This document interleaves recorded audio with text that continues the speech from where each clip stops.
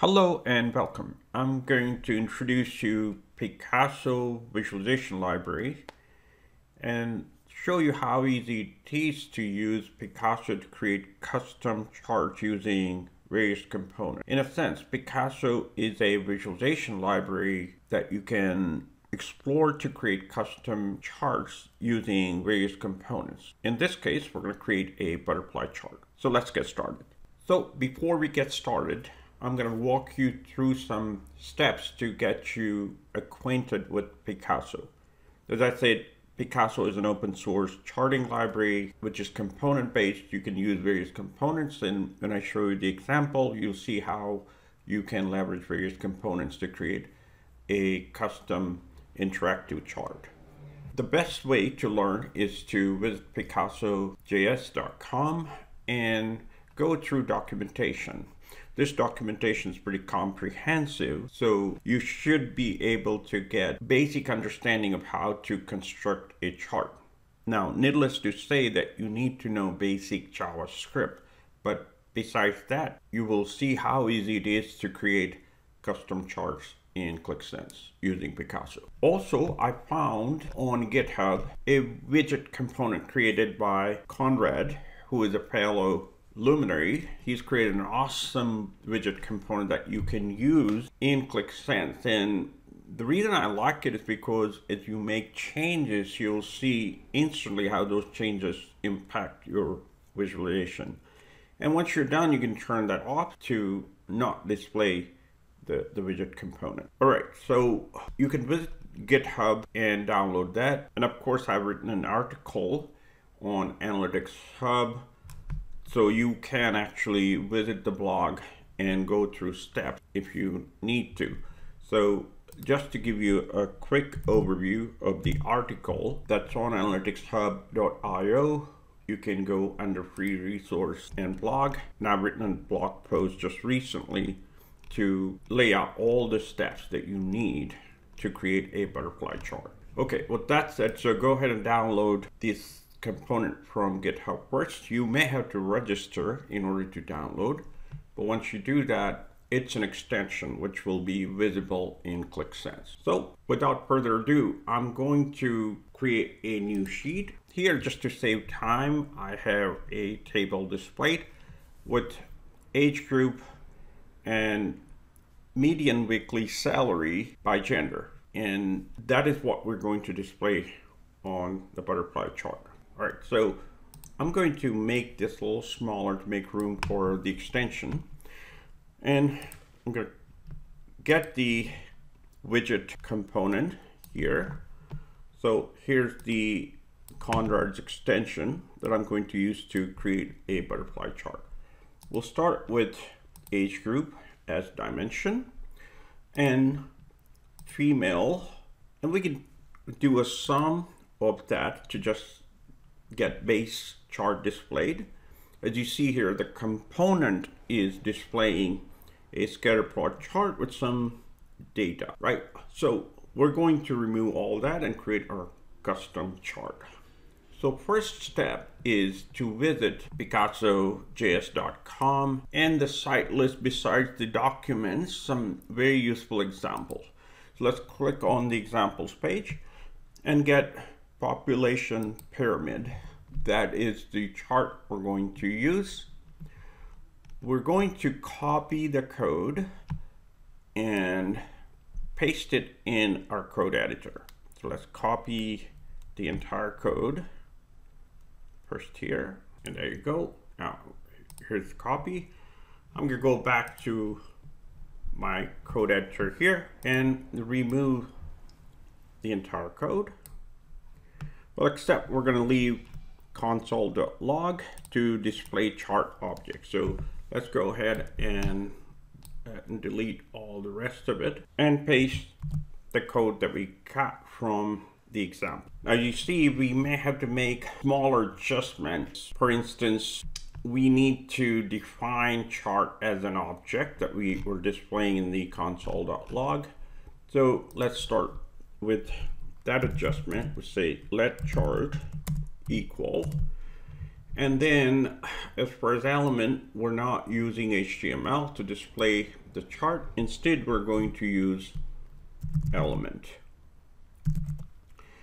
And of course, data is going to come from the app itself. So we're going to use colon data. And you see these are all JSON structures. Now at this point, our data set contains age group and not age. So I'm going to make that slight adjustment to my field name, age group. And I have to make similar change a few more times throughout this code as the field's been displayed in the, the data object also. So here it's going to be group and last one will be group here.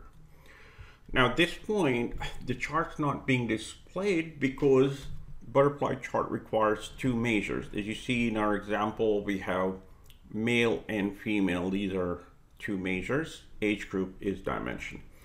So I'm going to add another measure and that's male and let's sum of male. And for chart to get displayed, it the label has to match with the field names that we have listed in the code. And our field names are male and female. So we can simply change the label here to male. Same way, label of female to female.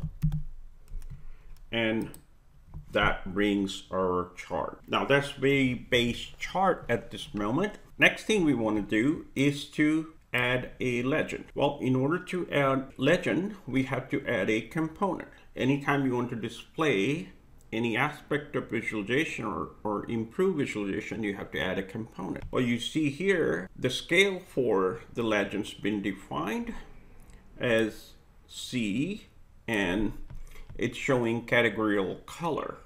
Now, if you go on the picasso.js.com, the help site, it has various types of legends. So legend can be categorical or sequential. So here our legend is categorical. So we're going to have to create a component with type legend cat. You can copy this and go back and let's create a component first. So I'm going to create an object and let's start with where's comma here. Now let's start with type is legend cat and the scale is C.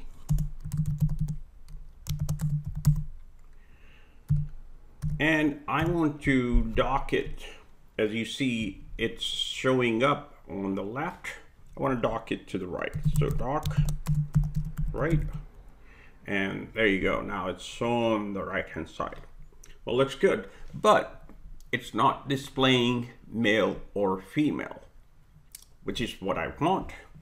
Now if you notice here the data array has values 0 and 1 well, same way, if you scroll down and look at the code, in the data object, code has zero index for male and one for female.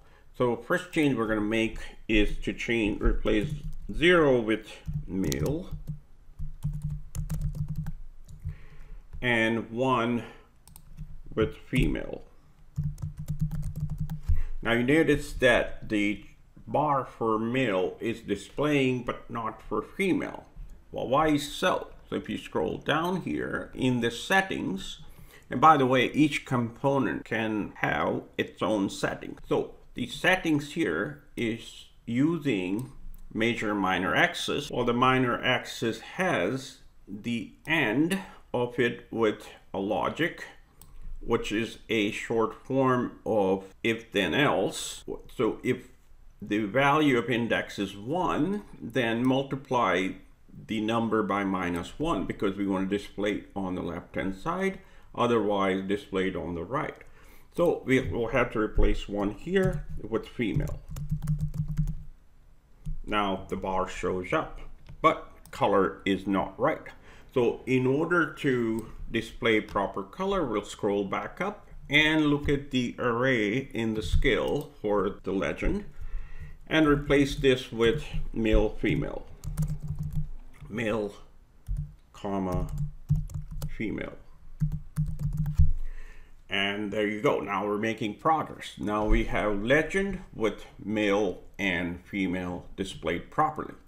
What if I want to add a title to it? That's possible with another object. And here we're going to add settings in the component for the legend. And that's going to be an object. And within that we're going to add a an object of title because we're adding title here.